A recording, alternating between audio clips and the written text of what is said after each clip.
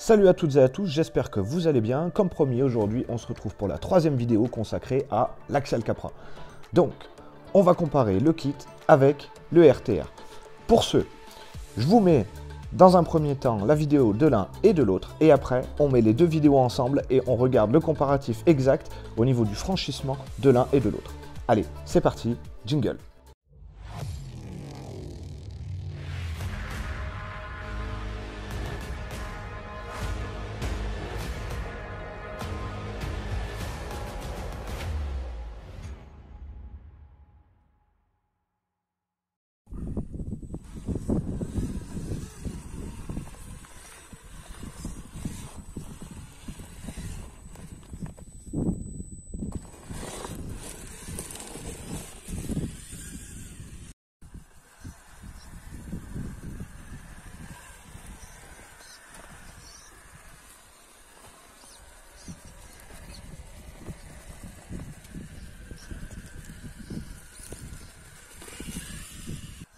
Comme vous avez pu le voir sur les deux séquences précédentes, les deux axiales se valent en termes de franchissement, à la différence que le kit a une linéarité des gaz beaucoup plus intéressante, contrairement au RTR qui est beaucoup plus brusque.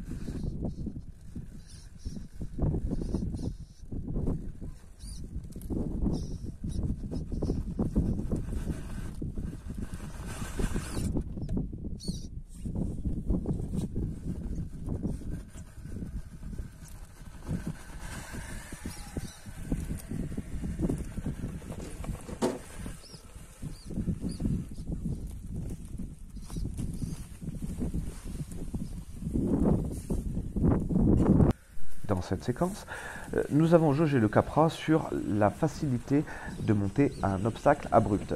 Comme pour la première séquence, le RTR monte des signes de faiblesse dus à son manque de linéarité dans les gaz. Le Capra, quant à lui, effectue la même manœuvre, sauf que les poids situés sur les ponts portiques euh, lui permettent de garder l'équilibre et de continuer le franchissement.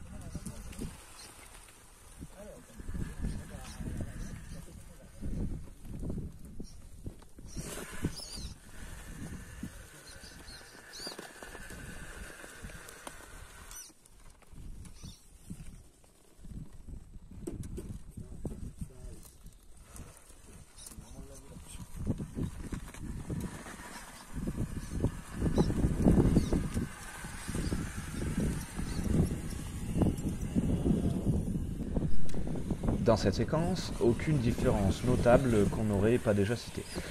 Cependant, le pare-choc installé sur le RTR lui fait grandement défaut. Alors vous allez me dire, ouais, mais d'origine, il n'y a pas de pare-choc sur le RTR. Oui, en effet. Mais il est intéressant pour les détenteurs ou futurs acquéreurs du Capra de souligner que l'installation de ce type de pare-choc réduit grandement l'angle d'ouverture et donc ses capacités de franchissement.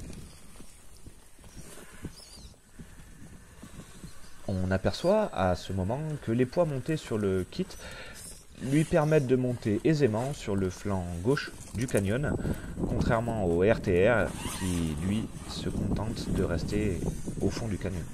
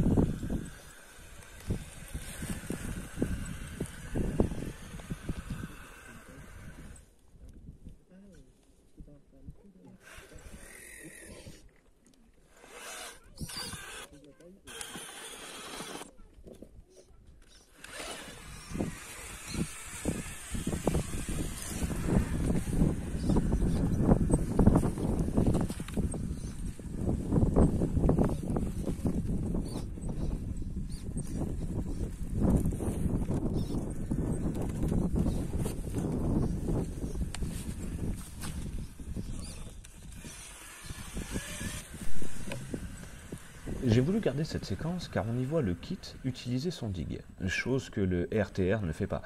Pourquoi me direz-vous? Eh bien, tout simplement parce qu'il ne fonctionne pas sur ce RTR.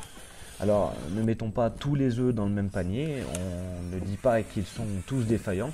Cependant, dans ce cas, et avec la télécommande d'origine, le réglage du cerveau de dig est impossible.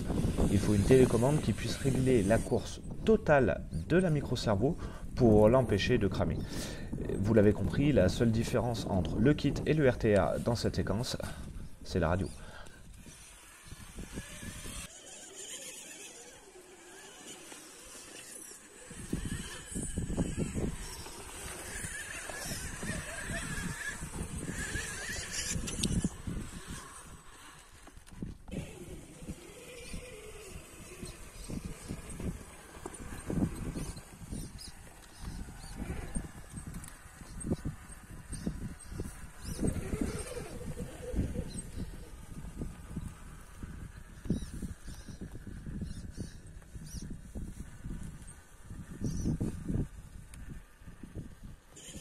Vous avez vu la différence?